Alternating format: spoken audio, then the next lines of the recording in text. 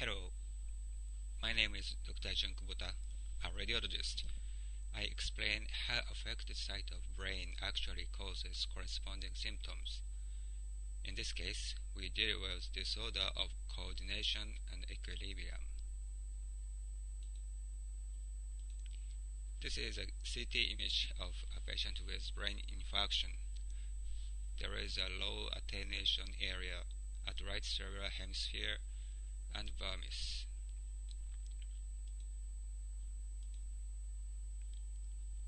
Considering the situation and the development, right cerebral hemisphere almost corresponds to right neocerebellum. Vermis almost corresponds to paleocerebellums on both sides. Which function should be disordered when right neocerebellum and bilateral paleocerebellum are, uh, are affected? We should choose among the following ten, which include consciousness as activation, promotion, inhibition, keeping tonus, and coordination as motion, pain and temperature, and gravity as perception, equilibrium as reflex, cognition and conduction as higher brain function. We are looking up each function one by one if its tract runs the affected site. The tract of consciousness doesn't run in neocerebellum and paleocerebellum. The tract of promotion doesn't run in neocerebellum and paleocerebellum. The tract of inhibition doesn't run in neocerebellum and paleocerebellum. The tract of keeping tonus doesn't run in neocerebellum and paleocerebellum. This is the tract of co coordination. This tract is a round trip. The going route rises at the left frontal, parietal, occipital, and temporal cortex in telencephalon, relates at the left pontine nuclei in brainstem, and ends at the right neocerebellum.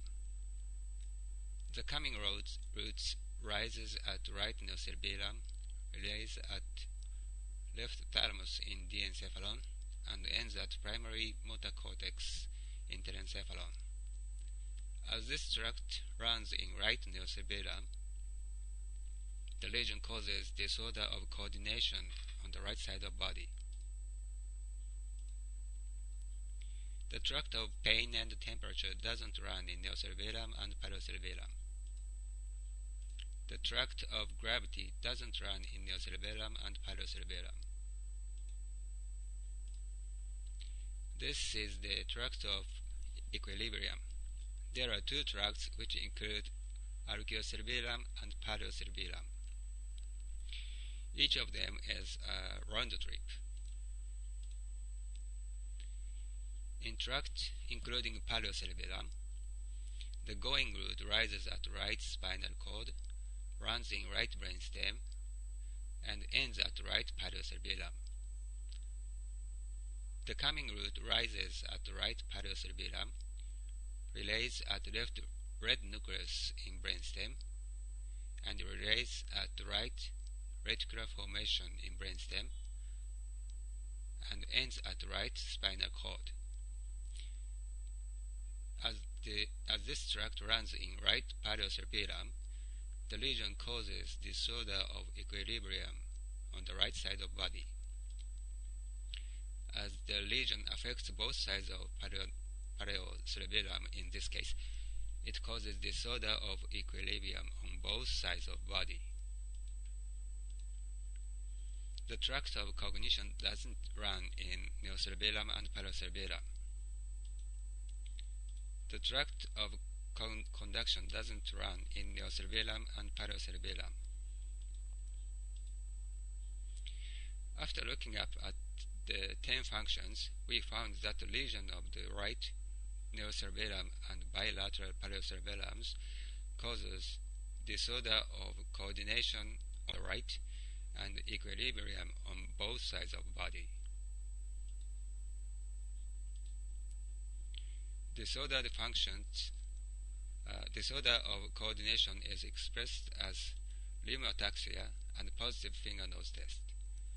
Disorder of equilibrium is expressed as nystagmus, truncal ataxia, and gait disturbance.